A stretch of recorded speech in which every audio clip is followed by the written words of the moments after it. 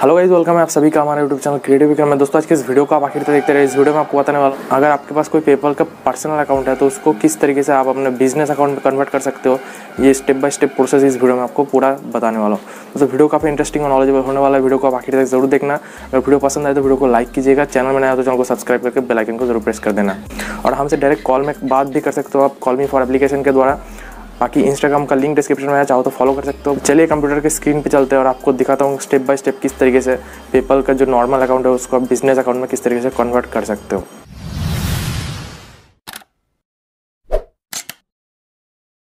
So guys finally हम लोग आ चुके हैं अपने डेस्कटॉप स्क्रीन पे। यहाँ पे अपना जो जो अकाउंट है पेपल का, ये इंडिविजुअल अकाउंट है, ठीक है? पर्सनल अकाउंट है, जिसमें आप सिर्फ़ पेमेंट कर सकते हो पेमेंट रिसीव नहीं कर सकते, ठीक है?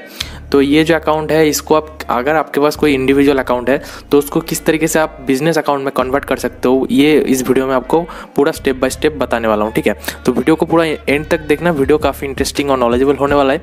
आप लोगों के पास अगर एक पेपल अकाउंट है, आप लोग अगर एफिलिएट मार्केटिंग वगैरह वगैरह वेबसाइट वगैरह चलाते हो, या फिर आप लोगों का कुछ मतलब यूएस डॉलर में कुछ कन्वर्ट करेंसी चेंज करने के बाद आपके अकाउंट में आने का कुछ कुछ काम आप लोग करते हो, या फिर कुछ वेबसाइट डेवलपमेंट का कुछ काम करते हो जिसमें आप लोगों को पेमेंट लेना होता है, वो भी इंटरनेशनल करेंसी से तो आपके पास एक पेपल अकाउंट होना बहुत ही ज़रूरी है। अगर आपको एक पेपल अकाउंट किस तरीके से क्रिएट करना है, वो अगर जानना है तो आप मुझे कमेंट में बता सकते हो। मैं नॉर्मल पेपल अकाउंट बनाना भी आपको सिखाऊँगा। और आप लोगों के पास अगर एक एक एक ऑलरेडी अकाउंट है नॉर्मल अकाउंट तो आप किस तरीके से उसको बिज़नेस में कन्वर्ट कर सकते हो, वो इस वीडियो में आपको स्टेप बाय स्टेप सिखाने वाला हूँ, ठीक है? तो सबसे पहले आपका जो अकाउंट है, उसको आप लॉग इन कर लीजिए नॉर्मल अकाउंट है जिसको पर्सनल अकाउंट है।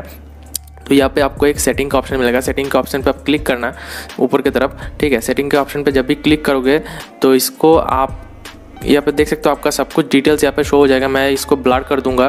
थोड़ा सा इसको जब भी ऊपर की तरफ़ आप लेंगे तो यहाँ पे नीचे की तरफ़ आपको एक ऑप्शन मिल जाएगा convert to a business account ये एक ऑप्शन आपको ज़रूर मिलेगा तो इसके ऊपर आपको क्लिक करना है। इस, यहाँ पे दो ऑप्शन है क्लोज योर अकाउंट भी है क्लोज योर अकाउंट पर क्लिक मत करना तो आपका पेपल अकाउंट डीएक्टिव हो जाएगा और बंद हो जाएगा। आप इसको कभी भी एनेबल नहीं कर पाओगे, ठीक है? तो इसको आपको एनेबल करने की ज़रूरत नहीं है। आप यहाँ पर देख सकते हो convert to a business account तो convert to a business account पर हमें क्लिक करना है। सिंपली क्लिक करना है और कुछ नहीं करना है। यहाँ पे आपको कुछ स्टेप आपको दिखाऊँगा। सब कुछ यहाँ पे यहाँ पे देख सकते हो टेल अबाउट योर बिज़नेस आपके बिज़नेस के बारे में कुछ यहाँ पे पूछ रहा है। तो आप यहाँ पे आपका जो बिज़नेस है, आप यहाँ पे चूज़ कर सकते तो मैं यहाँ पे इंडिविजुअल बिज़नेस करूँगा, क्योंकि मैं सिर्फ़ एक वेबसाइट ही होस्ट करता हूँ और ज़्यादा कुछ यहाँ पे बाहर के काम नहीं करता। तो यहाँ पे सबमिट पे क्लिक करूँगा। अगर आपका कुछ और है तो आप ज़रूर उसको ही चूज़ करें। फेक कुछ मत दे, ठीक है? तो हम यहाँ पे जितना भी आपको बताएँगे प्रॉपर चीज़ बताएँगे।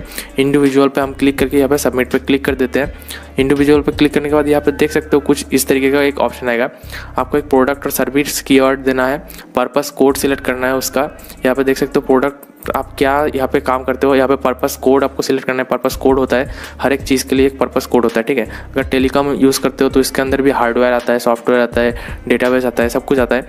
तो इस तरीके का कुछ पर्पस कोड होता है। आपका जो भी पर्पस कोड होता है, आप देख लीजिएगा, उस हिसाब से यहाँ पे पर्पस कोड डालिएगा, ठीक है? और प्रोडक्ट यहाँ पे आपको क्या करना है, आप यहाँ पे सिंपली लिख सकते हो क्या काम करते हो आपका। ऑनलाइन बिज़नेस अगर होगा तो यहाँ पे देख सकते हो, यहाँ पे सर्च कर सकते हो। इंटरनेट वगैरह वगैरह, यहाँ पे कंप्यूटर में सर्च कर देता हूँ। कंप्यूटर तो इस देख सकते हो यहाँ पे कंप्यूटर सॉफ्टवेयर स्टोर इस तरीके का कुछ है। तो यहाँ पे अपना पर्सनल पैन नंबर देना है। पैन कार्ड का जो आपका नंबर है, वो यहाँ पे दे देना है। और बिज़नेस स्टैब्लिश डेट यहाँ पे आपको फिल करना है, ठीक है? बिज़नेस का स्टैब्लिश डेट जब आपको बिज़नेस स्टार्ट हुआ है, वो डेट यहाँ पे देना है मंथ देना है यार देना है, ठीक है? और यहाँ पे जो पेपल का सीसी स्टेटमेंट होता है, उसमें आपका नाम क्या आएगा, वो नेम यहाँ पे देना है। सिंपली यहाँ पे ग्यारह अक्षर से ज़्यादा कुछ भी यहाँ पे नहीं लेगा, ठीक है? अल्फ़ाबेट और नंबर दोनों मिक्स करके यहाँ पे देना है, ठीक है? अल्फ़ा न्यूमेरिक नंबर यहाँ पे देना है और यहाँ पे अपना बिज़नेस का एक यू देना है। जो भी वेबसाइट आप होस्ट करते हो, उसका एक यू आर यहाँ पे आपको देना है, ठीक है? तो बाकी ये सब मैं फिल कर लेता हूँ, उसके बाद आपको यहाँ पे दिखाता हूँ। सो भाई ये सब कुछ हमने फिल कर लिया है। उसके बाद यहाँ पे हम इसको सबमिट पे क्लिक करेंगे। सबमिट पे क्लिक करने के बाद यहाँ पे देख सकते हो tell about us your business आपको कुछ और फिल करना होगा। बाकी यहाँ पे सब कुछ वो ले लेगा ऑटोमेटिक ठीक है? तो यहाँ पे प्राइमरी कॉन्टैक्ट एड्रेस यहाँ पे ऑटोमेटिकली ले लेगा जो भी आपके पेपल अकाउंट में है। सब कुछ यहाँ पे सेम टू सेम यहाँ पे ले लेगा। और आपका फ़ोन नंबर आपका करेंसी यहाँ पे चूज़ करना है। प्राइमरी करेंसी आपका क्या है? आप अगर यूरो में लेना चाहते हो यूएस डॉलर में लेना चाहते हो, कुछ भी आप आप अगर इंडिया में रहते हो तो आपको इंडियन रुपीज़ ही सिलेक्ट करना है, ठीक है? बाकी अदर्स कंट्री का आप यहाँ पे है, देख लेना और पे चूज़ कर लेना, ठीक है? देन यहाँ पे एग्री एंड कंटिन्यू पे आपको क्लिक करना है। एग्री एंड कंटिन्यू पे जब भी क्लिक करोगे तो नेक्स्ट स्टेप आपके पास सामने आ जाएगा, ये हमारा ओपन हो जाएगा, ठीक है? तो यहाँ पे देख सकते हो, यहाँ पे अकाउंट सेटअप का ऑप्शन आ चुका है। यहाँ पे हमारा ऑलरेडी यहाँ पे आपका ईमेल कन्फर्म हो हो गया है मतलब यहाँ पे ऑलरेडी यहाँ पे दिखा देगा कि आपका जो ईमेल है, वो यहाँ पे ऑलरेडी लॉगिन हो चुका है। मतलब आपका अगर पहले से ईमेल कनेक्टेड है तो वो ऑटोमेटिक वेरीफाइड दिखाएगा, ठीक है? यहाँ पे आपका अगर बैंक अकाउंट ऐड है तो यहाँ पे बैंक अकाउंट शो हो जाएगा। तो यहाँ पे you link your bank account you can now withdraw funds to your link bank account तो इस बैंक आपका पहले से जो बैंक लिंक है, वो यहाँ पे शो हो जाएगा पेमेंट रिसीव करने के लिए। तो यहाँ पे आप अपना जो बैंक अकाउंट है, वो यहाँ से आप देख भी सकते हो। यहाँ पे क्लिक करना है और यहाँ पे देख भी सकते हो, ठीक है? तो ये ऑटोमेटिक हो रहा है, ठीक है?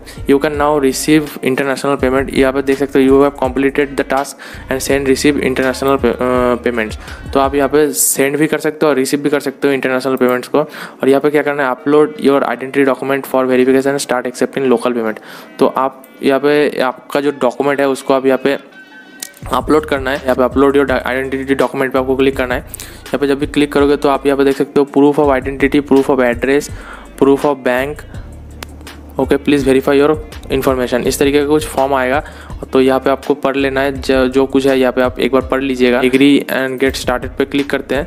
और यहाँ पे देख सकते हो हमारा जो प्रूफ ऑफ़ रेसिडेंशियल एड्रेस है वो यहाँ पे रेसिडेंशियल एड्रेस का कुछ आपको देना होगा। तो रेसिडेंशियल एड्रेस जो है वो यही है। सिलेक्ट डॉक्यूमेंट आप कुछ भी दे सकते हो। Aadhaar card GST voter identity card कुछ भी यहाँ पे अपना जो एड्रेस वेरिफिकेशन के लिए आप यहाँ पे दे सकते हो ठीक है तो हम यहाँ पे फ़िलहाल के लिए यहाँ पे एड्रेस के लिए यहाँ पे दे देते हैं voter identity card voter identity card देने के बाद यहाँ पे ensure your upload voter front and back side document okay तो यहाँ पे your name and address must भी क्लियर मैच तो यहाँ पे आपका जो फ़ोटो है उसको आपको यहाँ पे अपलोड करना है तो हम यहाँ पे अपना जो वोटर कार्ड है उसको आप अपलोड कर देते हैं दोस्तों यहाँ पे हमारा सिर्फ़ रेसिडेंशियल एड्रेस ही यहाँ पे चाहिए। बाकी का सब कुछ यहाँ पे हमारा जो ऑलरेडी यहाँ पे देख सकते हो टिक मार्क लगा हुआ है। अगर आपका टिक मार्क नहीं लगा होता है तो आप यहाँ पे इसको सिलेक्ट करके आप उसको यहाँ पे प्रूफ ऑफ़ आइडेंटिटी भी आपको देना हो सकता है। क्योंकि हमारे सिर्फ़ प्रूफ ऑफ़ एड्रेस मांग रहा है, क्योंकि हमारा सब कुछ ऑलरेडी दिया हुआ है। आपका अगर नहीं दिया हुआ है तो आप वहाँ पे सिलेक्ट करके उसको सबमिट ज़रूर कर देना। तो मैं फ़िलहाल यहाँ पे अपना जो वोटर कार्ड है, दे देता हूँ, उसके बाद आपको दिखाता हूँ। सो गाइज़ आप लोग देख सकते हो यहाँ पे हमारा जो वोटर कार्ड है वो अपलोड हो चुका है, ठीक है? ये मस्ट पाँच एम के ऊपर का कुछ, कोई भी डॉक्यूमेंट यहाँ पे अपलोड नहीं होगा, ठीक है? आप देख सकते हो यहाँ पे JPG G G I F P N G and P D F acceptable है, ठीक है?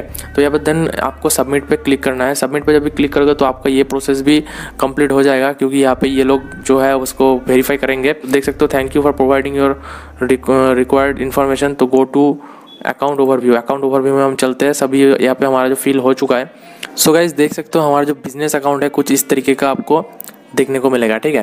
तो जब भी आपका जो सब कुछ कंप्लीट हो जाएगा तो आप यहाँ पे क्या कहाँ कहाँ से कितना रुपए यहाँ पे रिसीव किए हो, कितना क्या क्या है, सब कुछ अवेलेबल बैलेंस आपको यहाँ पर शो हो जाएगा, ठीक है?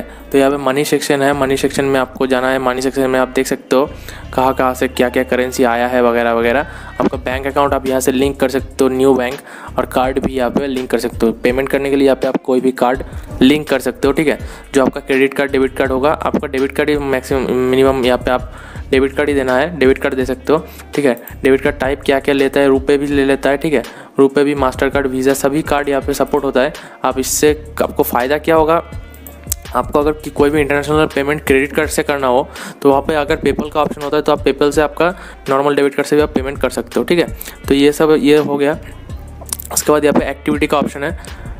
एक्टिविटी का ऑप्शन यहाँ पे है, आप क्या क्या कर रहे हो? यहाँ पे सब कुछ एक्टिविटी आपके।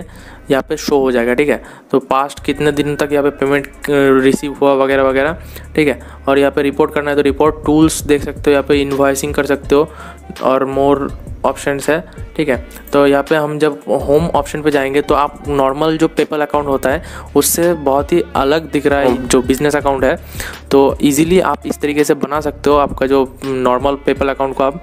बिज़नेस में कन्वर्ट कर सकते हो, ठीक है? दोस्तों, वीडियो को आखिर तक देखने के लिए बहुत बहुत धन्यवाद। अगर वीडियो में कुछ भी अच्छा लगा, कुछ भी नॉलेज वाला और इस वीडियो से अपने कुछ भी सीखा तो वीडियो को कीजिए। एक लाइक चैनल नया हो तो चैनल को सब्सक्राइब करके बेल आइकन को ज़रूर प्रेस कर देना।